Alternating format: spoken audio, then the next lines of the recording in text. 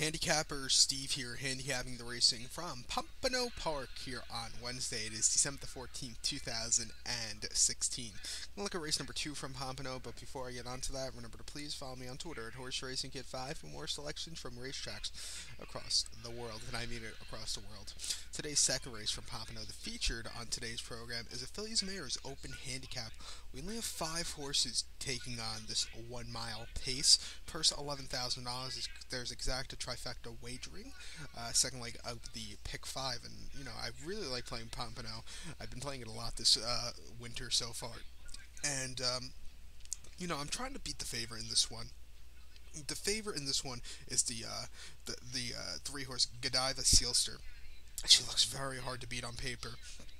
I'm gonna try and go beat her a little bit with the five horse Barnyana. Barnyana. Hopefully that's the per, uh, to, uh, correct pronunciation of the uh, horse. Uh, so I'm going to use that five horse as a top pick. I'm going to go do a trifecta. Five, three, four. Five, three, four trifecta. Straight trifecta. It's uh, going to cost you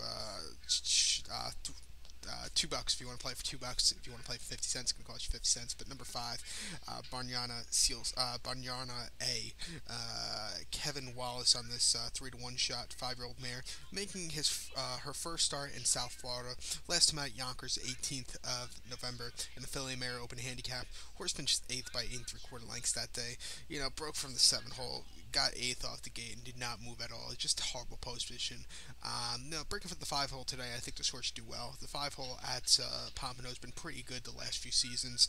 Um, start before Yonkers, 11th of November, and Philly Mare non winners of 27 in the last few starts. From the two hole, the horse won by two lengths on the lead all throughout. Didn't look back. A very easy North American debut for pari-mutuel starts, and then qualified at Pocono, 2nd of November, and uh, won the qualifier by two lengths, qualified in 155 and one easy qualifier.